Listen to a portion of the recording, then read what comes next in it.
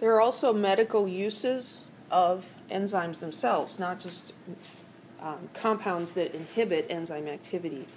Enzymes are very useful in diagnosing some diseases.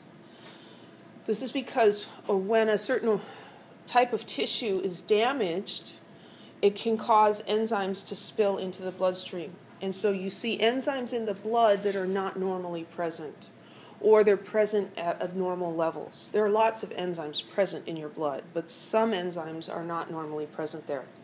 And so there are several diseases that are marked by abnormal enzyme activity. So that's how they can take a blood test and say, you know, we think you had a heart attack because there's enzymes in your blood that, that shouldn't be there. Enzymes can also be used to treat diseases.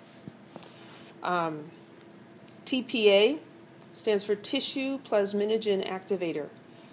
And this can promote the dissolution of blood clots. So this can be useful during a heart attack because generally there's a blood clot involved and the administration of TPA can help your body to dissolve that and minimize the damage caused by it. Enzymes are also used in uh, clinical lab chemical analysis. So, you know, they take a sample of your blood. Well, what do they do with it? They measure different chemicals that are in your blood. Some of the chemicals are difficult to measure.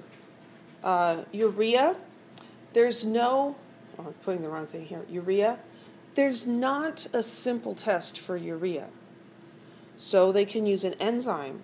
They use the enzyme urease, which converts the urea to ammonia. It's very easy to measure the amount of ammonia in the blood and this is commonly referred to as the BUN test, B-U-N, for blood urea nitrogen.